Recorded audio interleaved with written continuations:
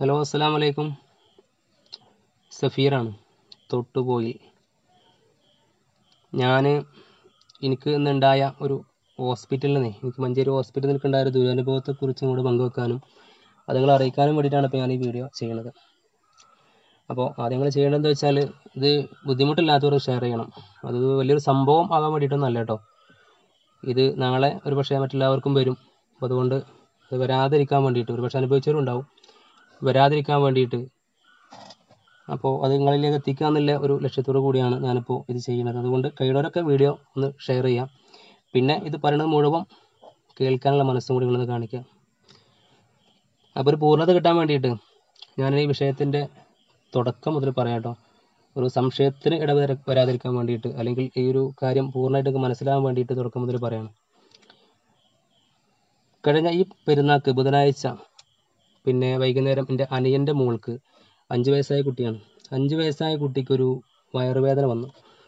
രണ്ട് ദിവസം മുമ്പേ ഒരു വയറുവേദന ഉണ്ടായിരുന്നു. അപ്പോൾ അതുകൊണ്ട് വേറെ ഡോക്ടറെ കാണിച്ച് ആ ഡോക്ടർ മരുന്നൊക്കെ തന്നു. പക്ഷെ അത് കുടിച്ചപ്പോൾ വേണ്ട പോലെ അതൊരു ഫലം കണ്ടില്ല. അപ്പോൾ പെരുന്നാളിന്റെ ദിവസം ഇപ്പോൾ ബുധനാഴ്ച പെരുന്നാൾ ദിവസം ഈ വേദന വന്നപ്പോൾ ഇപ്പോൾ ഒരു മറ്റൊരു നല്ല ഡോക്ടറെ കാണിക്കാമെന്ന ലക്ഷ്യത്തിൽ ഞങ്ങൾ മഞ്ചേരി ജോസ് ആന്റണി ഡോക്ടർ ഉണ്ടല്ലോ ആ ഡോക്ടറെ കൊണ്ടുപോയി കാണിച്ചു. അപ്പോൾ ഡോക്ടർ പെട്ടെന്ന് സ്കാൻ ചെയ്യാൻ പറഞ്ഞു. സ്കാൻ ചെയ്യാൻ പറഞ്ഞപ്പോൾ സ്കാൻ ചെയ്ത് കൊണ്ടുവന്നു. നോക്കിയപ്പോൾ അപ്പൻഡീഷന്റെ അസുഖമാണ് അപ്പോൾ അത് എന്താ പറയുക കുറച്ച് മൂർച്ച ഘട്ടത്തിൽ എത്തിയിട്ടുണ്ട് പഴുത്ത് പൊട്ടാനായിട്ടുണ്ട്. അപ്പോൾ പെട്ടെന്ന് ഓപ്പറേഷൻ വേണമെന്ന് പറഞ്ഞു ഡോക്ടർ അപ്പോൾ പിന്നെ Koramba hospital K M H ഹോസ്പിറ്റലിലേക്ക് ഞങ്ങൾ റെഫർ ചെയ്തു. ഞങ്ങൾ പെട്ടെന്ന് കുട്ടീനെയും കൊണ്ട് കൊരമ്പ ഹോസ്പിറ്റലിൽ പോയി. ഹോസ്പിറ്റലിൽ പോയപ്പോൾ അവിടെ നിന്ന് സർജൻ ലീവാണ് പെരുന്നാളായതുകൊണ്ട് സർജൻ ലീവാണ് പിറ്റേ ദിവസം ലീവാണ് അപ്പോൾ അവിടെ നിന്ന് ഓപ്പറേഷൻ ഒരിക്കലും ചെയ്യാൻ പറ്റൂല. എന്ന് പറഞ്ഞ് ഞങ്ങൾ ഒന്ന് മടക്കി അയച്ചു. വീണ്ടും ഞങ്ങൾ പിന്നെ ജോസ് ആന്റണി ഡോക്ടറെ തന്നെ പോയി. അപ്പോൾ അദ്ദേഹം പിന്നെ പ്രശാന്തി മഞ്ചേരി പ്രശാന്തി ഹോസ്പിറ്റൽ അറിയാലോ? പ്രശാന്തി ഹോസ്പിറ്റലിൽ റെഫർ ചെയ്തു.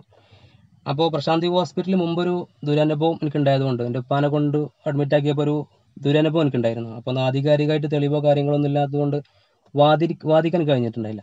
അപ്പോൾ അതുകൊണ്ട് അങ്ങനെ ഒരു അനുഭവം ഉള്ളതുകൊണ്ട് എനിക്ക് മാനസികമായിട്ട് കുട്ടീനെയും കൊണ്ട് പ്രശാന്തി ഹോസ്പിറ്റലിലേക്ക് പോകാൻ താല്പര്യമില്ലായിരുന്നു. അപ്പോൾ മാനു ഹോസ്പിറ്റലിൽ നിന്ന് ബന്ധപ്പെട്ടു. അതിന്റെ ഒരു എന്താ പറയുക ഡോക്ടർ റെഫർ ചെയ്ത് പ്രശാന്തി ഹോസ്പിറ്റലിലേക്കാണെങ്കിലും അതിന്റെ ഫയലൊക്കെ അയച്ചു കൊടുത്തിട്ട് മാനു ഹോസ്പിറ്റലിൽ ബന്ധപ്പെട്ടു. അവിടെ ബീരാൻകുട്ടി ഡോക്ടറാണ് ശരിക്കും സർജനായിട്ടുള്ളത് അപ്പോൾ ആ ഡോക്ടർ വന്ന് പെരുന്നാളായിട്ട് ലീവാണ് പിറ്റേ ദിവസം ലീവാണ് അപ്പോൾ ഈ പിറ്റേ ദിവസത്തേക്ക് കുട്ടിയെ വെക്കാൻ പറ്റില്ല എന്നുള്ളത് ഡോക്ടർ പറഞ്ഞുകൊണ്ട് നമുക്ക് എന്ത് ചെയ്യണമെന്ന് അറിയില്ല. അതിൽ ഗത്യന്തരമില്ലാതെ മനസ്സില്ലാ മനസ്സോടെ പ്രശാന്തി ഹോസ്പിറ്റലിൽ തന്നെ ഈ കുട്ടിനെ അഡ്മിറ്റ് കൊണ്ടുപോയി അഡ്മിറ്റ് ചെയ്യേണ്ട ഒരു അവസ്ഥ ഞങ്ങൾക്ക് വന്നു. അപ്പോൾ അവിടെ ഞാൻ പറഞ്ഞില്ല ദുരനുഭവം ഉണ്ടായത് കൊണ്ട് തന്നെ അഡ്മിറ്റ് ചെയ്യേണ്ട മുമ്പേ അവിടുത്തെ ചികിത്സേന്റെ ഒരു പാക്കേജ് ഉണ്ടാവും ഇവർക്ക്. ഏത് ചികിത്സയ്ക്ക് ഒരു പാക്കേജ് ഉണ്ടാവുമല്ലോ? ആ പാക്കേജിനെ കുറിച്ച് കൃത്യമായിട്ട് രൂപരേഖ ഞങ്ങൾ ചോദിച്ച് മനസ്സിലാക്കി. അപ്പോൾ മുപ്പത്തി അയ്യായിരം രൂപയാണ് ഈ ഓപ്പറേഷത്തിന് അവിടെ പാക്കേജ് ആയിട്ട് വരുന്നത്. അതിൽ മെഡിസിൻ ഉൾപ്പെടും റൂം ഉൾപ്പെടും അങ്ങനെ എല്ലാ കാര്യങ്ങളും ഉൾപ്പെടും. ലാബ് ടെസ്റ്റ് ഒഴികെ. അതായത് അവിടെ കൊറോണ ടെസ്റ്റ് നടത്തി അത് ഉൾപ്പെടില്ല അതേപോലെ ലാബ് ടെസ്റ്റുകൾ ഒന്നും ഉൾപ്പെടില്ല ഈ ബ്ലഡ് ടെസ്റ്റ് അതേപോലെ മറ്റുള്ള ടെസ്റ്റുകളൊന്നും അത് ഉൾപ്പെടില്ല അപ്പോൾ അതുകൊണ്ട് തന്നെ പിന്നെ അപ്പോൾ ഞങ്ങൾ എന്നാലും മറ്റുള്ള ഹോസ്പിറ്റലിലൊക്കെ ഞങ്ങൾ അന്വേഷിച്ചു ഇതിന്റെ റേറ്റ് അപ്പോൾ ഇരുപത്തി അയ്യായിരം പറഞ്ഞതുണ്ട് ഇരുപത്തി എട്ടായിരം പറഞ്ഞ സ്ഥലമുണ്ട് മുപ്പതും പറഞ്ഞിട്ടുണ്ട്. മുപ്പത്തി അയ്യായിരമാണ് പ്രശാന്തി ഹോസ്പിറ്റൽ പറഞ്ഞത്. പക്ഷേ ഈ കുട്ടിന്റെ രോഗത്തിന്റെ ഒരു തീവ്രത ഞങ്ങളെ തലക്കുള്ളിൽ ഇങ്ങോട്ട് കയറ്റുന്ന കാര്യത്തിൽ ഡോക്ടർമാർ വിജയിച്ചുകൊണ്ട് ആ ഒരു നാ മുപ്പത്തി അയ്യായിരം പിന്നെ ഒരു കുറച്ച് ഒരു വക്കിലെ ചിലവ് ഒരു നാൽപ്പത്തി അഞ്ച് നാൽപ്പത്തി അയ്യായിരം രൂപയുടെ ഉള്ളിൽ ഒതുങ്ങും. അപ്പോൾ ഞാൻ പറഞ്ഞു ആ തീവ്രത തലക്കുള്ളിൽ കയറ്റി വെക്കുന്ന കാര്യത്തിൽ ഡോക്ടർമാർ വിജയിച്ചത് കൊണ്ട് ആ നാൽപ്പത്തി അയ്യായിരം രൂപ ഞങ്ങൾക്ക് മുമ്പിൽ വെല്ലുവിളിയല്ലായിരുന്നു. നമ്മുടെ കുട്ടിനെ എങ്ങനെയായാലും അത് എത്ര കൊടുത്താലും നമ്മളത് ചികിത്സിക്കുന്ന ഉറപ്പാണല്ലോ. ഇല്ലെങ്കിൽ ഇല്ലോ തുടർന്ന് കൊണ്ടുപോകലോ അപ്പോൾ ആ സംഖ്യ ഞങ്ങളെ സംബന്ധിച്ചിടത്തോളം ഒരു വെല്ലുവിളി അല്ലായിരുന്നു അതുകൊണ്ട് തന്നെ സന്തോഷത്തോടെ ആ പൈസന്റെ കണക്കൊന്നും പറയാം ഞങ്ങൾ അതിന്റെ കാര്യങ്ങളൊക്കെ തന്നെ ചോദിച്ചറിഞ്ഞിട്ട് അവിടെ അഡ്മിറ്റ് ചെയ്യാൻ തീരുമാനിച്ചു. അങ്ങനെ അഡ്മിറ്റ് ചെയ്യേണ്ട മുമ്പേ ഒരു മൂവായിരം രൂപ അവിടെ കൊടുക്കണം. അത് കൊടുത്തു. സ്വാഭാവികമായിട്ടും അഡ്മിറ്റിന് മുമ്പേ കൊടുക്കണം. അതിന്റെ റൂൾസാണ് കൊടുക്കണം. അങ്ങനെ കൊടുത്തു. രാത്രി എട്ട് മണിയോട് കൂടിയാണ് കേട്ടോ ഞങ്ങൾ പിന്നെ അവിടെ അഡ്മിറ്റ് ചെയ്യണത്. പിറ്റേ ദിവസം രാവിലെ തന്നെ പിന്നെ അഡ്മിറ്റ് ഓപ്പറേഷനാണ് അങ്ങനെ ഓപ്പറേഷന്റെ മുമ്പായിട്ട് സിസ്റ്റർ നഴ്സ് വന്ന് പറഞ്ഞു പിന്നെ ഒരു ഇരുപത്തി അയ്യായിരം കൂടി കെട്ടിവെക്കണം എന്ന് പറഞ്ഞു. അത് ഞങ്ങൾ അപ്പം തന്നെ കൊണ്ടുപോയി അടിച്ചു. അങ്ങനെ ഓപ്പറേഷൻ ഒക്കെ അലഹമില്ല വല്ല പഠിത്തവന്റെ കാരുണ്യം കൊണ്ടും ആ ഡോക്ടറെ കഴിവുകൊണ്ടും എന്തൊക്കെയാണെങ്കിലും അത് വേണ്ട രീതിയിൽ വിജയകരമായിട്ട് തന്നെ കാര്യങ്ങളൊക്കെ അവസാനിച്ചു. അങ്ങനെ ഞങ്ങൾ ഇന്ന് ഡിസ്ചാർജ് ചെയ്യുന്ന ദിവസമാണ് ഇന്ന് ഡിസ്ചാർജ് ചെയ്യുന്ന ദിവസം ബില്ല് വരാൻ കാത്തു നിന്നിട്ട് ഞങ്ങൾ ബില്ലടക്കാൻ വേണ്ടിയിട്ട് കൗണ്ടറിൽ പോയി. അങ്ങനെ കൗണ്ടറിൽ പോയപ്പോൾ അവരെ ഒരു ലേഡി ആയിരുന്നു ക്യാഷ് കൗണ്ടറിൽ ലേഡി ഉണ്ടായിരുന്നു. ആ ലേഡി ഞങ്ങളോട് ബില്ല് തന്നപ്പോൾ പറഞ്ഞു ഒരു ഏഴായിരം രൂപ കൂടുതൽ അതായത് അവർ പറഞ്ഞ പാക്കേജിൽ ഒരു ഏഴായിരം റുപ്യ കൂടുതലായിട്ട് അവിടെ ബില്ല് തന്നു. അപ്പോൾ സ്വാഭാവികമായിട്ട് ഞാൻ ചോദിച്ചു ഈ ഏഴായിരം രൂപ എങ്ങനെ വന്നതാണ്? അതിന്റെ ഒരു നമുക്കൊരു കിട്ടണമല്ലോ കൃത്യത കിട്ടണമല്ലോ അപ്പോൾ ചോദിച്ചു ഏഴായിരം റുപ്യ എങ്ങനെ വന്നതാണെന്ന് ചോദിച്ചു. അപ്പോൾ ആ ലേഡി പറഞ്ഞു ഇത് ഈ ബില്ല് ഉൾപ്പെടുന്നതാണ്. മെഡിസിന്റെ ബില്ലാണ് ഏഴായിരം റുപ്യ മെഡിസിൻ മരുന്നിന്റെ ബില്ലാണ് അപ്പോൾ ഞങ്ങൾ ഈ പാക്കേജ് ആദ്യമേ ചോദിച്ചു അവിടുത്തെ ഒരു അവസ്ഥ ഞാൻ കാരണമുണ്ട് ഞാൻ പറഞ്ഞു മുമ്പ് ഒരു സമാന അനുഭവം ഉള്ളതുകൊണ്ടും ആ പാക്കേജിനെ കുറിച്ച് കൃത്യമായ രൂപരേഖ ചോദിച്ച് മനസ്സിലാക്കിയതാണ്. അപ്പോൾ അതുകൊണ്ട് ആ പറഞ്ഞ ആൾ സാലിഹ് അല്ലെങ്കിൽ സാലിഹാണെന്നൊരു ഓർമ്മ എന്തോ ആവട്ടെ ആ ലേഡിന്റെ പേര് എനിക്ക് അറിഞ്ഞൂടാ ഞാൻ ചോദിച്ചിട്ടില്ല. അതിന്റെ മനസ്സിലുള്ള പേര് ഒരു വേറെ പേര് അത് ഈ പബ്ലിക്കായിട്ട് പറയാൻ പറ്റില്ല. അപ്പോൾ അവർ വാശി പിടിച്ചു എന്തായാലും ഇത് ഇതിൽ പെടുന്നതാണ്. ഇതിൽ ഈ സംഖ്യ ഈ ഏഴായിരം രൂപ അടക്കമാണ് ഇവിടെ ബില്ല് വരിക. അത് സാധാരണ കൊടുക്കണമെന്ന് വാശി പിടിച്ചു. അപ്പോൾ ഞാൻ പറഞ്ഞു ഞങ്ങൾ എൻക്വയറി നടത്തി അന്വേഷണം നടത്തിയ ഒരാളുണ്ട്. സാലിഹ് എന്നാണെന്ന് അദ്ദേഹത്തിന്റെ പേര് തോന്നുന്നു. എനിക്ക് കറക്റ്റ് ഓർമ്മ കിട്ടുന്നില്ല എന്തായാലും അയാളെ ഞാൻ അറിയും. അപ്പോൾ അയാൾ വിളിക്കാൻ പറഞ്ഞു. അയാൾ വന്നു. ഞാൻ ചോദിച്ചു അവരോട് ഈ മുപ്പത്തി അയ്യായിരം രൂപ പറഞ്ഞത്. അതിൽ മെഡിസിനും റൂമും ഉൾപ്പെടെ ഞങ്ങൾ പറഞ്ഞിട്ടുള്ളത്? അപ്പോൾ അതുകൊണ്ട് ഈ മുപ്പത്തി അയ്യായിരത്തിൽ പുറമെ ഒരു മെഡിസിന് ഏഴായിരം വരാൻ സാധ്യത ഇല്ലല്ലോ എന്ന് ചോദിച്ചു. അപ്പോൾ അയാൾ അങ്ങോട്ട് കൂടായി അയാൾ പറഞ്ഞു എങ്ങനെ വരുന്നത്? വരില്ല. ഒരിക്കലും വരാൻ പാടില്ല എന്നൊക്കെ പറഞ്ഞു. അപ്പോൾ ഞങ്ങളോടല്ല പറയേണ്ടത്? അവിടെ ലേഡി കൗണ്ടറിലുണ്ട് ക്യാഷ് കൊടുക്കണം. അപ്പോൾ അങ്ങനെ ആ ലേഡിനോട് വന്ന് ഇത് ക്ലാരിറ്റി വരുത്തി തരണം പറഞ്ഞു. ഞങ്ങൾ അയാളെയും കൊണ്ടുപോയി. അങ്ങനെ അവർ പിന്നെ ആ ലേഡിനോട് സംസാരിച്ച് പറഞ്ഞു. അപ്പോൾ ലേഡി അങ്ങനെ ഇങ്ങനെയൊക്കെ പറഞ്ഞു. ഒരു സ്വകാര്യമൊക്കെ പറഞ്ഞു. അപ്പോൾ ചുരുക്കി പറഞ്ഞ രണ്ട് മിനിറ്റ് കൊണ്ട് ഏഴായിരം റുപ്യ കുറഞ്ഞു. ഞാൻ മനസ്സിലാക്കണം. ഏഴായിരം റുപ്യ ഒരു കൂടുതൽ പറഞ്ഞ സംഖ്യ ഞങ്ങൾ ചോദിച്ചതിന്റെ പേരിൽ അപ്പോൾ തന്നെ കുറഞ്ഞു. ഒന്ന്. അത് നേരെ മറിച്ച് അപ്പോൾ തന്നെ ഞാൻ ചോദിച്ചു. അപ്പോൾ നമ്മൾ ചോദിച്ചിട്ടില്ലെങ്കിൽ ആ ഏഴായിരം രൂപയുടെ അടച്ചു പോരണല്ലോ. അപ്പോൾ തന്നെ ഞാൻ ചോദിച്ചു ഇതൊരു പക്ഷേ ഞങ്ങൾക്ക് അറിയണമുണ്ട്. ഞങ്ങൾ ഇതിനെപ്പറ്റി കൃത്യമായ നിങ്ങളെ ഹോസ്പിറ്റലിനെ കുറിച്ച് കൃത്യമായ രൂപരേഖ ഞങ്ങൾ മനസ്സിലുള്ളത് കൊണ്ട് ഞങ്ങളിത് ആദ്യം തന്നെ കണക്കൂട്ടി വെച്ചതാണ്. അതുകൊണ്ട് ഞങ്ങളത് കണക്കൂട്ടി ഞങ്ങൾ ചോദിച്ചു. അതിന്റെ പേരിൽ നിങ്ങൾ ഏഴായിരം കൂട്ടിയിട്ട് ഞങ്ങൾ അറിഞ്ഞു. അത് നിങ്ങൾ കുറച്ചും തന്നു. ഇത് ചോദിക്കാത്ത ആളുകൾ അവിടുന്ന് ഇവിടുന്ന് ഈ പൈസ നിന്ന് പോയിട്ടുണ്ടാവും. ഈ അറക്കതല്ലാത്ത പൈസ നിങ്ങൾ എത്ര വാങ്ങിയിട്ടുണ്ടാവും എന്നവരോട് ചോദിച്ചു. അവരൊന്നും മറുപടി പറഞ്ഞില്ല. അപ്പോൾ ഞങ്ങൾ ആ പൈസ കുറപ്പിക്കുക എന്നുള്ള ലക്ഷ്യം മാത്രം ഉണ്ടായി അല്ല ഉണ്ടായിരുന്നു. അവർ ഈ ഒരു കൊള്ള ഉണ്ടല്ലോ. ഈ ഒരു എന്താ പറയുക പിന്നെ പാവങ്ങളെ കുത്തിരി പിടിച്ച് പിഴിഞ്ഞെടുക്കണ കൊള്ള. അത് വെളിച്ചത്ത് കൊണ്ടുവന്ന ലക്ഷ്യം കൂടി നമ്മുടെ മനസ്സിലുണ്ടായിരുന്നു കേട്ടോ. വെറുതെ പറയണല്ല അവിടെ ഭയങ്കര പ്രശ്നമായി. ഭയങ്കര കാഷ്വാലിറ്റി അല്ലേ? ഭയങ്കര ഒച്ചമ്പുളിയൊക്കെ ആയി ആളുകളൊക്കെ കൂടി. അവസാനം ഒരു മാനേജറുമായി ബന്ധപ്പെട്ട അധികാരികളൊക്കെ വന്നു. അപ്പൊ ഞാൻ അവരോട് പറഞ്ഞു ഞാൻ ഒച്ചമ്പുളി ഉണ്ടാക്കുമല്ലോ അപ്പൊ ഞാൻ പറഞ്ഞു ഞാൻ പറയുന്നത് ന്യായം ഇല്ല എന്ന് നിങ്ങൾ വ്യക്തമായിട്ട് തെളിവ് ഞാൻ പരസ്യമായിട്ട് നിങ്ങളെ കാൽ പിടിച്ച് മാപ്പറാൻ തയ്യാറാണ്. അല്ലെങ്കിൽ നിങ്ങൾ വ്യക്തമായിട്ട് തെളിവ് തരണം. ഇത് ഞാൻ പറയുന്ന ന്യായമല്ല. ന്യായം നിങ്ങളുടെ ഭാഗത്താണ്. എന്റെ ഭാഗത്തല്ല. നിങ്ങൾ വ്യക്തം ആധികാരികമായിട്ട് തെളിവ് വരാണ് ഞാൻ കാൽ പിടിക്കാൻ തയ്യാറാണ്.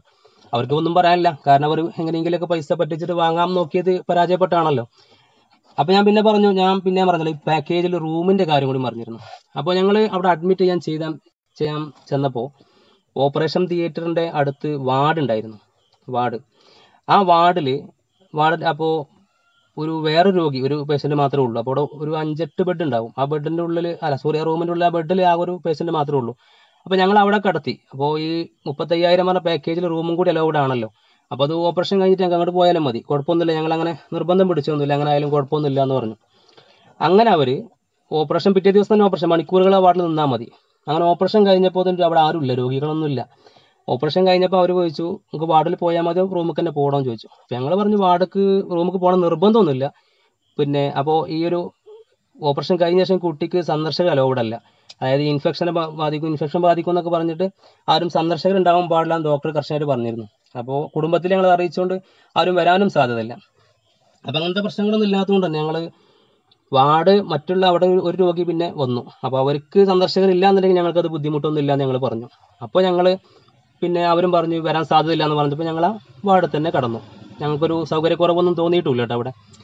അപ്പം അങ്ങനെ ഞങ്ങൾ എന്തായാലും അത് വാർഡിൽ അവിടെ ഞങ്ങളെ നിർബന്ധിച്ച് കിടത്തിയപ്പോൾ സ്വാഭാവികമായിട്ട് നമുക്ക് സംശയം വരുമല്ലോ. അപ്പോൾ ഞങ്ങൾ എന്ത് ചെയ്തു അന്ന് തന്നെ രാവിലെ കൗണ്ടറിൽ പോയിട്ട് ഈ ഒരു സംശയം ചോദിച്ചു. ഈ മുപ്പത്തി അയ്യായിരം എന്ന പാക്കേജിൽ റൂമും ഉൾപ്പെടണില്ലേ എന്ന് ചോദിച്ചു.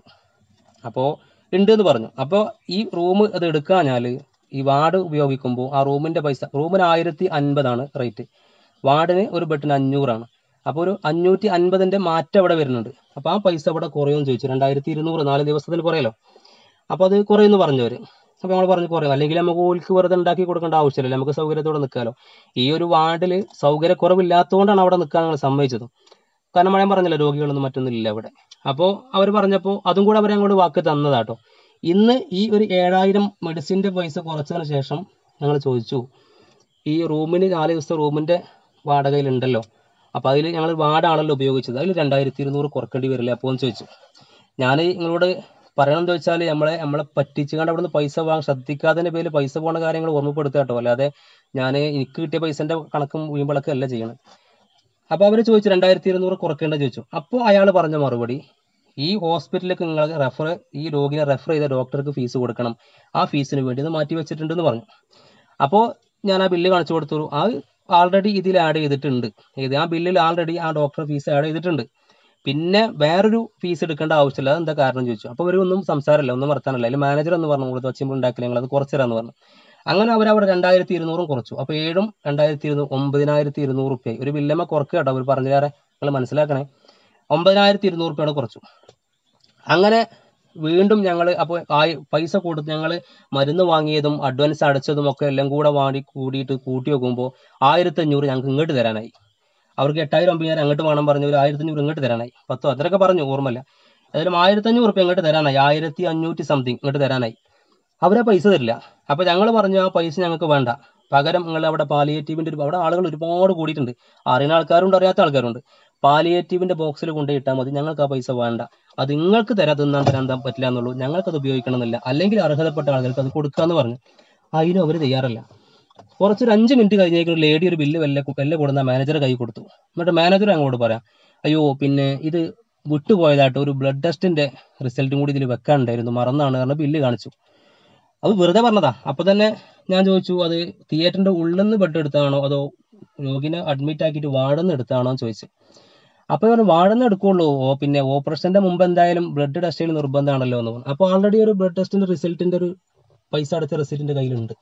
അനിയന്റെ കയ്യിലുണ്ട്. അപ്പൊ അത് കാണിച്ചു കൊടുത്തു. അപ്പൊ അതിങ്ങനെ ഇത് ഒരു ടെസ്റ്റല്ലേ എടുത്തിട്ടുള്ളൂ.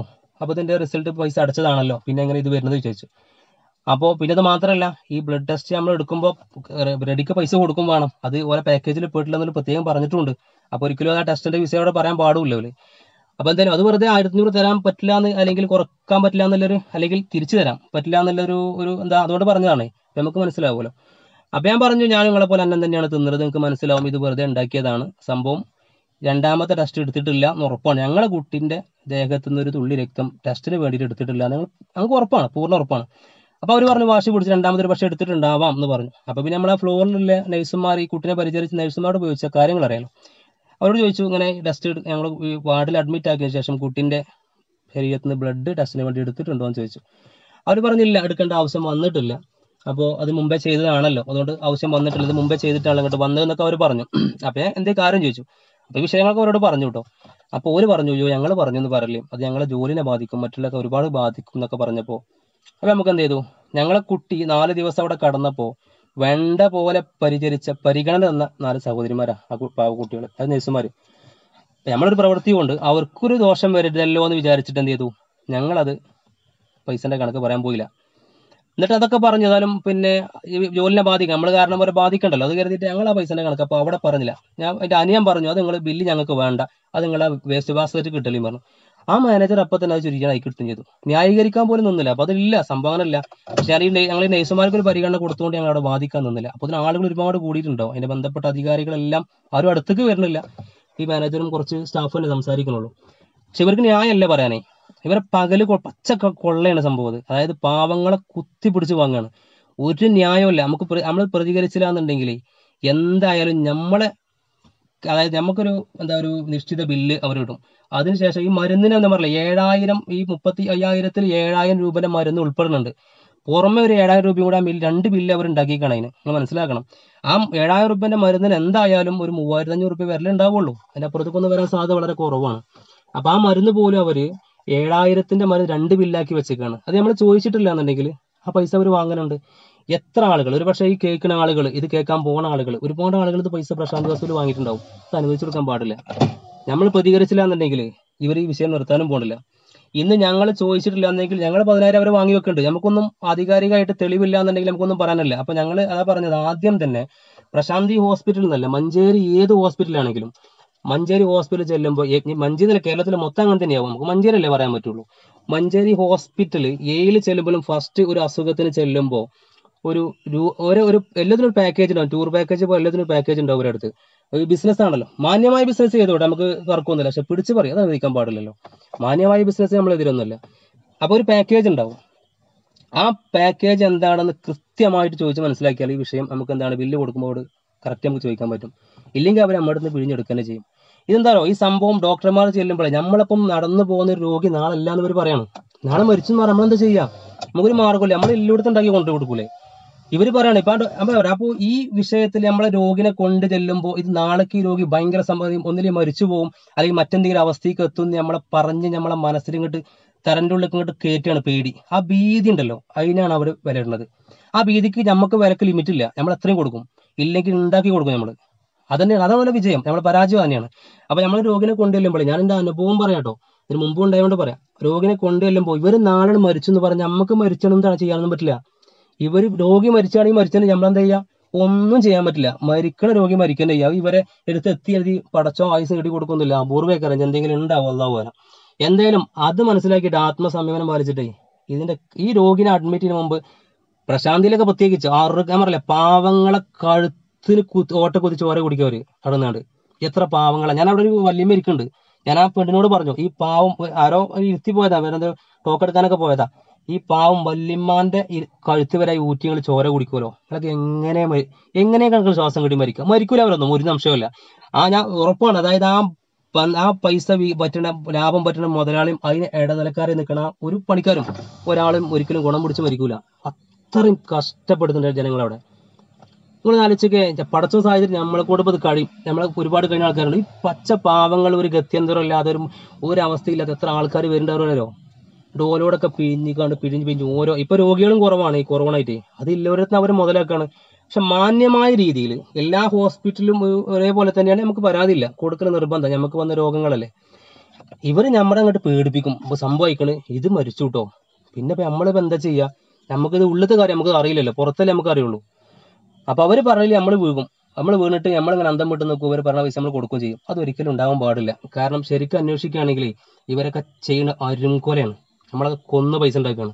നമ്മൾ ശരിക്കും മനസ്സിലാവും പ്രതികരിച്ചിട്ടില്ല എന്നുണ്ടെങ്കിൽ ഇത് ഒരുപാടുണ്ടല്ലോ. കേരളം എന്താ പറയുക ആരോഗ്യ വകുപ്പും അല്ലെങ്കിൽ മുനിസിപ്പാലിറ്റി മഞ്ചേരി മുനിസിപ്പാലിറ്റി ഉണ്ടല്ലോ അധികൃതർ ഓരൊക്കെ ഇതിന് എന്ത് ആര് ആ- എന്ത് എടുക്കുകയാണെങ്കിലും അതിന്റെ പിന്നിൽ അറ്റം വരെ ഞാൻ പോകും കാരണം എനിക്കിത് ഒരാൾ പറഞ്ഞു കേട്ട അറിവല്ല. വ്യക്തമായിട്ട് ഞാൻ അനുഭവിച്ചതാ. വ്യക്തമായിട്ട് തെളിവും എന്റെ അടുത്തുണ്ട്. ഒരു സംശയമല്ല എന്തു ഏതുണ്ട്? ഇവരിനി ഇപ്പൊ ഈ പ്രശാന്തി ഹോസ്പിറ്റൽ എന്ന് പറഞ്ഞാണ്ടല്ലോ അറുപത് അതായത് അവരൊക്കെ എന്താ പറയാ എങ്ങനെ ഇത് പറയാൻ അത്ര നീചമായി പ്രവർത്തി ചെയ്യുന്ന ആൾക്കാരാ കൂടുതൽ നീട്ടി പരത്തി ഞാൻ കൊണ്ട് വലിച്ചുകൊണ്ട് പോകണില്ല. അപ്പൊ നിങ്ങൾ ശ്രദ്ധിക്കുക വിഷയങ്ങൾ പ്രശാന്തി ഹോസ്പിറ്റലിൽ ചെല്ലുമ്പോൾ പ്രത്യേകിച്ച് മറ്റേത് ഹോസ്പിറ്റലിൽ ചെല്ലുമ്പോഴും നമ്മളെ രോഗികൾക്ക് ഒരു പാക്കേജ് അവർ തീരുമാനിച്ച ഒരു ഒരു- രൂപരേഖ അവർ പറഞ്ഞു തരും ഞാൻ പറഞ്ഞല്ലോ പാക്കേജ് സംഭവം ഉണ്ട്. ചികിത്സക്ക് ഉണ്ട് സംഭവം. ഈ ചികിത്സ ഏറ്റവും വലിയ ഈ മരുന്നും ഭയങ്കര തട്ടിപ്പെടുക്കുകയും അപ്പൊ മരുന്നിന്റെ വിലയും ഈ പാക്കേജിൽ ഉൾപ്പെടുന്നുണ്ടോ എന്ന് പ്രത്യേകിച്ച് നിങ്ങൾ ചോദിക്കണം കേട്ടോ. മരുന്നുമ്മലാണ് നമുക്ക് മനസ്സിലാക്കാൻ മനസ്സിലാക്കാൻ കഴിയാത്ത കള്ളത്തരം നടക്കുക. അപ്പൊ അതും കൂടി നിങ്ങൾ ചോദിക്കണം ശരിക്കും. അപ്പൊ നമുക്കൊരു ഒരു ഒരു ഒരു എന്താ പറയാ ഓൾറെഡി ഒരു പാക്കേജ് ഉണ്ടാവും ഞാൻ പറഞ്ഞ പോലെ. അതെന്താണെന്നും അതിൽ എന്തൊക്കെ ഉൾപ്പെടുന്നുണ്ടെന്നും എന്തൊക്കെ ഉൾപ്പെടില്ല എന്നും അത് കൃത്യമായിട്ട് ചോദിച്ച് മനസ്സിലാക്കുക. എന്നിട്ട് നമുക്ക് ബില്ല് കൊടുക്കും എന്തായാലും മാറ്റം ഉണ്ടാവും. ഓൽക്ക് നമുക്ക് ഓൽ എന്തായാലും ആ കറക്റ്റ് ബില്ല് വാങ്ങണ അപൂർവരം പ്രശാന്തി എന്തായാലും വാങ്ങൂല. രണ്ട് പ്രാവശ്യത്തെ അനുഭവം വരണ ഒരിക്കലും പ്രശാന്തി അത് വാങ്ങൂല. പ്രശാന്തി കൂടുതലല്ലാതെ ആ ഒരു കറക്റ്റ് ബില്ല് ഒരു വാങ്ങൂല. അത് പഠിച്ചിട്ടില്ല അവർ. മറ്റുള്ള ഹോസ്പിറ്റലിൽ ഇങ്ങനെ ദുരനുഭവം ഉണ്ടായിട്ടില്ല. അതുകൊണ്ട് നമ്മൾ ആരോപണം ഉന്നയിക്കാൻ തയ്യാറല്ല. പ്രശാന്തിനെ ഏത് ഉറക്കത്തിന് വിളിച്ചത് ഞാൻ പറയും. അവർ പച്ച തീട്ടം തക്കി ജീവിക്കുന്നവരാ ജനങ്ങളെ. അത്രയും മോശമായിട്ട് തന്നെ പറയും. അതായത് ഞാൻ അനു എന്റെ അനുഭവം കൊണ്ട് പറയാണ്. രണ്ട് പ്രാവശ്യം അനുഭവം കൊണ്ട് പറയാണ്. അപ്പോൾ കൂടുതൽ ഞാൻ പറഞ്ഞല്ലോ. പിന്നെ കൂടുതൽ വരച്ചു കിട്ടി പറയണില്ല. അവസാനിപ്പിക്കുകയാണ്. അപ്പോൾ ഈ വിഷയങ്ങളൊക്കെ നിങ്ങളൊന്ന് ബോധ്യപ്പെടുത്താന്ന് കരുതിയിട്ട് ലൈവിൽ വന്നാണ്. കഴിയുന്നവരൊക്കെ ഒന്ന് ഷെയർ ചെയ്യുക. ഇത് മറ്റുള്ള മുമ്പിൽ എത്തിക്കുക ഞാൻ പറഞ്ഞല്ലോ സംഭവം ആവാൻ വേണ്ടിയിട്ടല്ല. ജനങ്ങൾ അറിയണം. ഇനി അവിടെ ചെറിയ ആൾക്കാരെ ചോദ്യം ചെയ്യണം. ഇല്ലെങ്കിൽ ഈ വിഷയം അവർ അവസാനിപ്പിക്കൂല. ഈ പ്രവണത അവർ തുടർന്നു കൊണ്ടേയിരിക്കും അത് നമ്മൾ അറിഞ്ഞുകൊണ്ട് പ്രതികരിക്കാത്തതിന്റെ കുറവുകൊണ്ട് അവർ തുടർന്ന് കൊണ്ടുപോകാൻ പാടില്ല. അതെങ്ങനെയാണ് അവസാനിപ്പിക്കൽ നമ്മളെ നാട്ടുകാർ നിലയ്ക്ക് നമുക്ക് നമ്മളെ കടമയാണല്ലോ. അപ്പൊ അതുകൊണ്ട് ആ ഒരു ബോധം ഉണ്ടായിക്കാണ്ട് നിങ്ങൾ വേണ്ട പോലെ പരിഗണന എടുക്കട്ടെ ഈ വീഡിയോ. അപ്പൊ അതായാലും ഇനി കൂടുതലും പറയാനില്ല. ഇനി പറയാനുള്ളത് പ്രശാന്തി ഹോസ്പിറ്റലിന്റെ അധികൃതരോട് അതിന്റെ മാനേജ്മെന്റിനാണ് നിങ്ങൾ ചെയ്യണതേ പാവപ്പെട്ട ജന സാധാരണക്കാരായ ആൾക്കാരെ കഴുത്തിന് ഓട്ടക്കുത്തി ചോര കുടിക്കുന്ന പരിപാടി ഇപ്പം നിങ്ങൾ ചെയ്യണത് അതിന് പടച്ചം ഒരു തരത്തിൽ അല്ലെങ്കിൽ മറ്റൊരു തരത്തിൽ നിങ്ങളെ പരീക്ഷിക്കുക തന്നെ ചെയ്യും. ഇതിന്റെ അനന്തര ഫലം അനുഭവിക്കാതെ ഈ ഭൂമിയിൽ നിന്ന് മൺമറിഞ്ഞു പോകാൻ പറ്റും നിങ്ങൾ ആരും വിചാരിക്കണ്ട. ഓർത്തോ? കാരണം പാവപ്പെട്ടവരുടെ ശാപം അത്രയും എന്റെയൊക്കെ തലക്ക് മുകളിലുണ്ടാവും ഓർത്ത് വെച്ച് എനിക്ക് തന്നു. താങ്ക്